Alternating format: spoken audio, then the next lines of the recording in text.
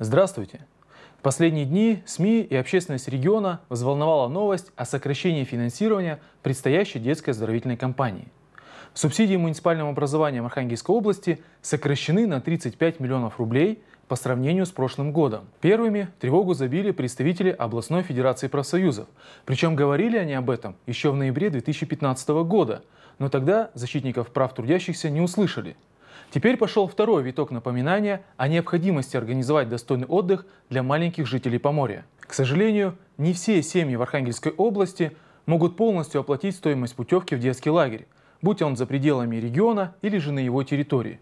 И тут помощь государства приходится весьма кстати. Особенно, если ребенок решил отдыхать в наших местных лагерях.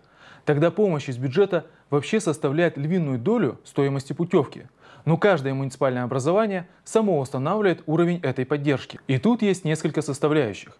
Во-первых, муниципалитеты отталкиваются от лимитов, доведенных до них из областного бюджета, то есть от тех сумм, которые область готова дать конкретному муниципальному образованию. Во-вторых, местные органы власти также закладывают в свои бюджеты определенные суммы на проведение оздоровительной кампании для детей. В-третьих, учитывается предполагаемое количество заявок на путевки. Делается это на основании данных предыдущего года, а также средняя стоимость путевки. Ну и важной составляющей формирования уровня так называемой частичной компенсации стоимости путевки является ее максимальный предел – который устанавливается региональным правительством. В этом году, например, он составляет 802 рубля в день для летних лагерей, находящихся на территории Архангельской области, и 605 рублей в день для летних лагерей за ее пределами. И вот исходя из перечисленных составляющих, муниципальные образования определяются суммой компенсации стоимости путевки. Согласитесь, помощь нужная и очень востребованная. Желающих ее получить много. И в прошлом году, к сожалению, далеко не все смогли это сделать. А что будет в этом?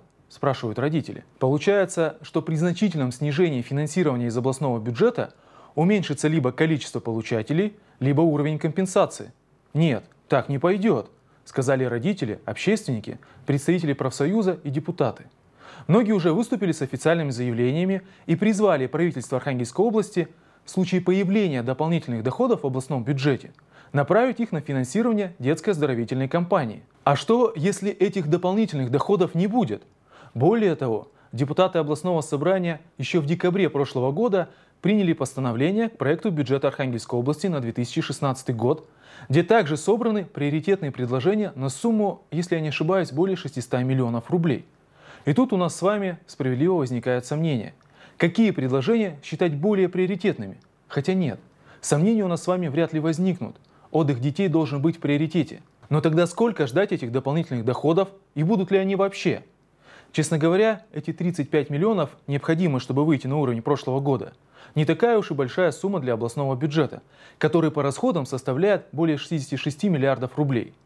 Правом инициативы корректировки бюджета Архангельской области обладает губернатор. Поэтому мы с коллегой-депутатом Ольгой Осицыной предложили ему этим правом воспользоваться и найти необходимые средства в действующем бюджете, а не ждать возможных дополнительных доходов. В крайнем случае будем работать поправками корректировки бюджета.